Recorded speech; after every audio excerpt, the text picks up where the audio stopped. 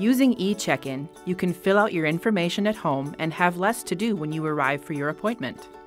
When you arrive, you can use the MyChart app on your phone to let us know you're here. Let's go through the process using the MyChart app.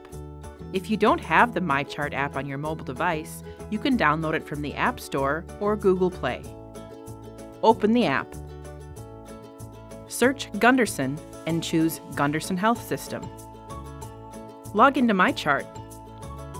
In Settings, turn on Appointment Arrival and Notifications. You may need to turn on location and notifications in your system settings.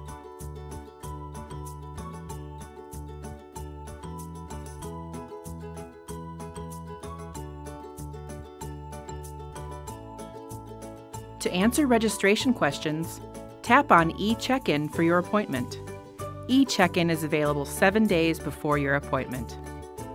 During e check in, you'll confirm or update your information, make payments, and sign forms.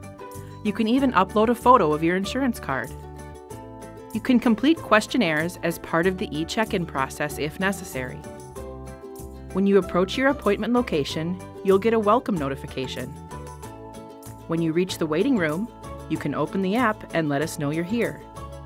You'll be alerted if you need to come to the desk for any remaining registration items. If we have everything we need, you can take a seat and our staff will come get you. We're bringing love plus medicine to you.